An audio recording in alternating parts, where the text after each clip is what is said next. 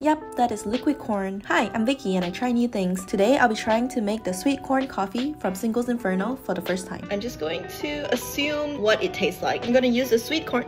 Oh wow, we match! And condensed milk. This is how it currently looks like.